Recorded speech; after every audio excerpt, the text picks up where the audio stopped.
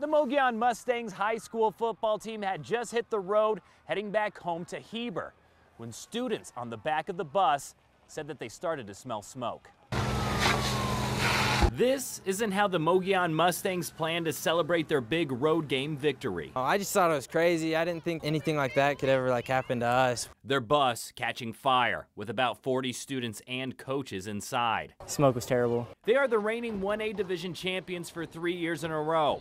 Head coach Rick Salmon hoping to make it four this year. We got a lot to do, a lot to cover. But this set them back. Oh! Two weeks ago, they were driving to Heber from Mayer, Arizona, when 10 minutes into their drive on I 17. We heard like a pop. Sophomore Bryson Kelton was sitting in the back seats. It smelled like rubber burning. When he noticed, then there's a fire that came through the plastic of this, like behind me. I yelled fire. Students like Keegan Porter immediately pushing toward the front of the bus. He sounded pretty serious, so I was just like, it's time to get off the bus, gotta hurry. The driver tried to knock down the flames with a fire extinguisher, but had no luck. And then I'm like, let's go, guys, let's go, let's go, let's go. Coach Salmon telling everyone to leave their belongings and evacuate. We lose stuff, we'll, we can take care of that.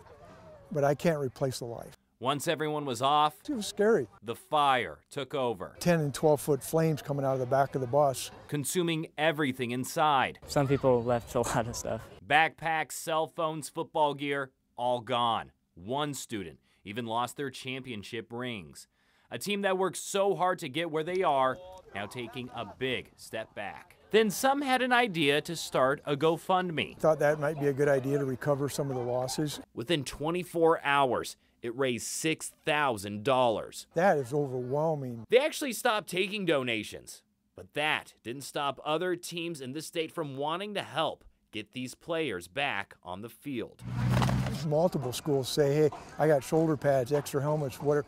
Everybody's been so generous to, to make sure that we can continue to play. Showing just how much love the community and those around here have for their team. Man, I don't, I'm, I'm so overwhelmed for what they were willing to do for us. To think that that many people were concerned and cared about them to help support us. Making coach and the players incredibly thankful. It means a lot. It means that we have people that care about us, care about our team. Not only are they back, day by day, day by day, but will use the kindness from so many as motivation for the next win. Won't be me! Won't be me! Chase Golightly, 12 News.